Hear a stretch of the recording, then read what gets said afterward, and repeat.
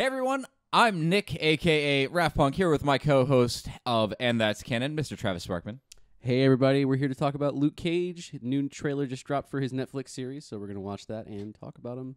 A little bit. We're gonna go zero to sixty real quick. So, Luke Cage, you were telling me he was created in response to blaxploitation films. Yeah, similar to Shaft or Black Dynamite, which I know was created now, but similar to that. Okay, uh, he got big with Iron Fist. Yeah, in the Iron Fist uh, Heroes for Hire, that's probably what made him really popular. Iron Fist was actually created kind of like during the Kung Fu craze, so similar kind of genre. Okay, uh, Iron Fist is coming, right? Yeah, Iron Fist series, can't wait for that. Um, hopefully Luke Cage and him will, will team up uh, in their respective series. Do you think we'll get like an actual series Heroes for Hire? No, I think we'll just get Luke Cage and then Iron Fist, and then Defenders. I think are going to take. Maybe it could be the name of the crossover episode. Mm, that's There we probably go. that's very likely. Very okay. likely. Uh, all right. Who who made him big? You, you were saying Bendis?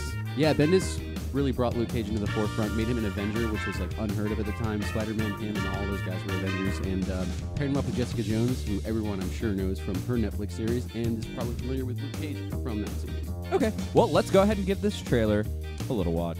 Do it. I guess you guys haven't heard about me.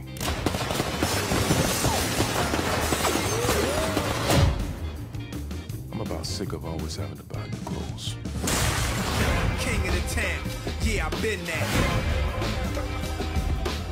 Okay, so I freaking love the music. First of all, Yeah, I think uh, that's pretty much what I expect from a Luke Cage trailer. That was really awesome. I, I mean it was it was phenomenal, and like just that like quip, that real that quick Yeah, line. it seems a little bit more like fun than like like Jessica Jones was a was a more psychological thriller, so it seems like we're going to see him in a different role. Which is I, I kind of cool. feel like it's like um, for the same reason you would play Rampage, right? Like you just like want to break down buildings and stuff. Luke Cage, you just want to see this guy just beat the crap out of people and walk into guns like no big deal. Yeah, there, there's a shot of him in like uh, in one of the older New Avengers comics where he just gets thrown off a building and then runs back up the stairs to rejoin the fight. I would love to see something like that in the trailer because he's just he's able to, to to take in so much damage without having any issue. Yeah. So he's about tired of buying new clothes, but I'm about tired of having to wait for this new series. Oh, So was. Travis, what are your thoughts? Going to be good? Oh, I think it's going to be great. I think it's going to be super different than Jessica Jones. Even though, like I said, I do love Jessica Jones. I think it's just going to be a, a lot different, which is good because I think there should be some variety in this series anyway. Definitely. Well,